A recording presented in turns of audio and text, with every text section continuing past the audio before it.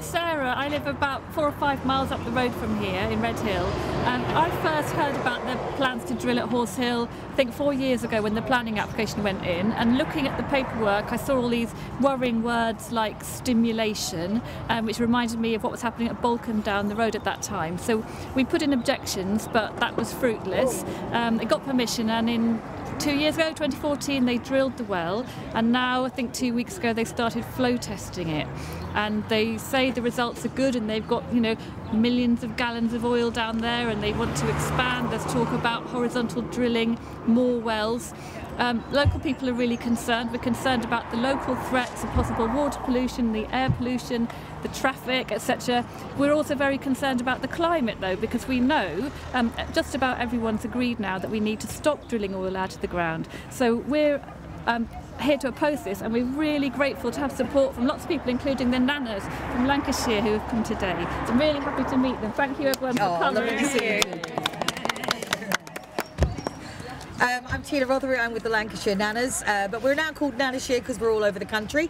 And uh, we've come down today because we're already experiencing this in Lancashire. We've already had the drilling back in April 2012, uh, 2011, sorry. And since then we've held it back. And throughout the country, everyone's held it back since then. And they are not in production yet in, in 2016. But they've just changed the definition of fracking to be something else. And they're just trying to hoodwink us. But in the end, we are here because of the health and safety of our children, both now and in the future.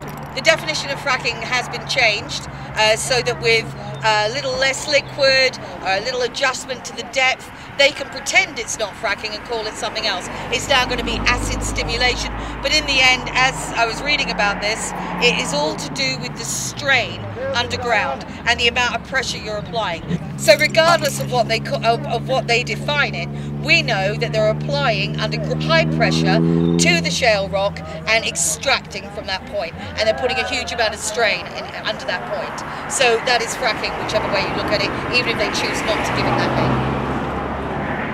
Hi, my name's Kate. I live uh, just near one of the sites in Blackpool at PNR, and I am concerned about fracking. I'm concerned about its effects on the environment, and obviously my shop is within five miles of the site, which, from what everything I've read, is actually the sort of the danger zone in terms of um, volatile organic compounds and and other noxious gases released when they're drilling.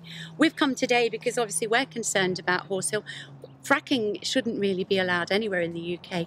So anywhere where we, we think it might go ahead, we feel that we have the right to come and peacefully protect the land because it's our land. So we've come down today because nanas are protectors, nanas are concerned about the future for our children and our grandchildren and we would like Nanashire to cover the whole of the UK where there is a threat of fracking and we've brought a tabard for Sarah to, to invite her into the Nana family. Oh, thank you. I'm so proud and honoured. And it's to decorate as you choose, and to put everything and make it entirely your own. Useful With a very useful pouch. Yay! And a pouches.